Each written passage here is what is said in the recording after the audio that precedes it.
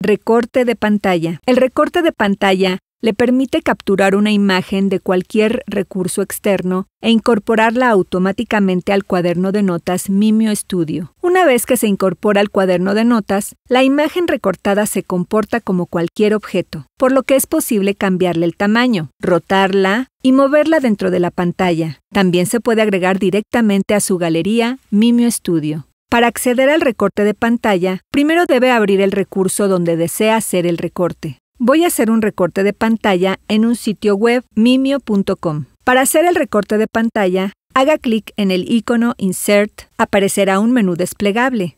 Haga clic en Screen Clipping.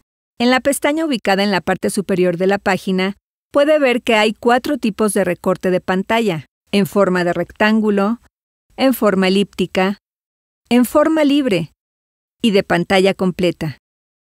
Elegiré el rectángulo y seleccionaré la porción de la pantalla que quiero recortar. Para ello, solo debo hacer clic y arrastrar. Y se puede observar cómo la forma rectangular se resalta. Cuando dejo de hacer clic, el objeto aparece en el cuaderno de notas Mimio. Es posible mover este objeto dentro de la pantalla, cambiar su tamaño y rotarlo. A continuación, le mostraré cómo hacer un recorte de pantalla en forma elíptica. Para cambiar la forma, simplemente haga clic en el icono y haga clic y arrastre.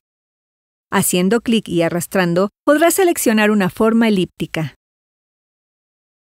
Este objeto se envía directamente a la ventana de mi cuaderno de notas Mimio y, nuevamente, se comporta como cualquier otro objeto de la página del cuaderno de notas. También puede utilizar una forma libre de recorte de pantalla. Esto le permite delinear la forma que desee recortar.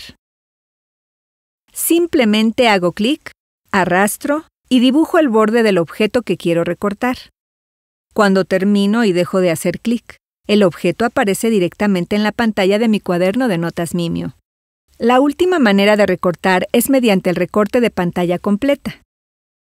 Si hago clic en el icono Insert y en Screen Clipping, y luego hago clic en este icono de la pestaña, podemos ver que aparece una página adicional en el cuaderno de notas Mimio, con una captura de pantalla de todo mi escritorio.